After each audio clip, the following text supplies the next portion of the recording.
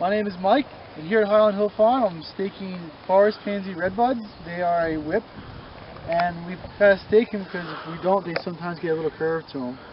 And what I do is I have a handy dandy poster calendar thing. I put it into the stake like that. I go find the base of the tree and try to put in the side that needs the stake for leading, and I'm just pushing it as far, as far as it really wants to go, and that's about it. And that's pushing it in. And then I have Freddie over there, and he's using the tape, and he tapes them up, like, you know what he's doing.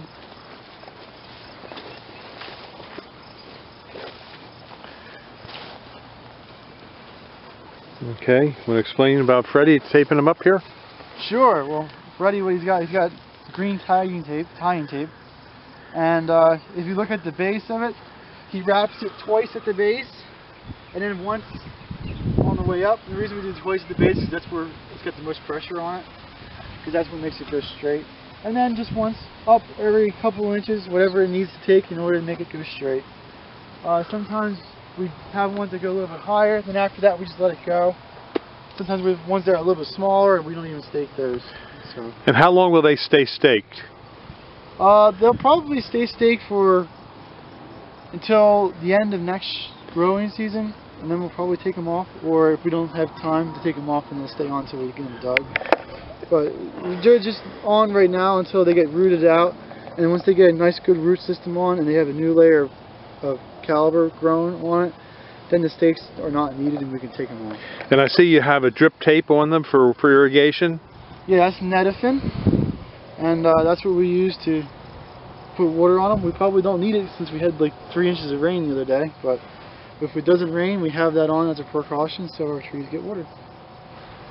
Okay, Michael, and uh, what other kind of trees do you raise here at Highland Hill Farm? Well, we have, well, just right over there, we have Persian Parrotia, we have Kousa Dogwoods, then we have Magnolia, Magnolia Ann, then we have, and they just keep keep going on over and over and over. Then we have uh, Yoshino Cherry, and to fill, finish out this field, we have, I think, like 20 or so of the straight species sycamore.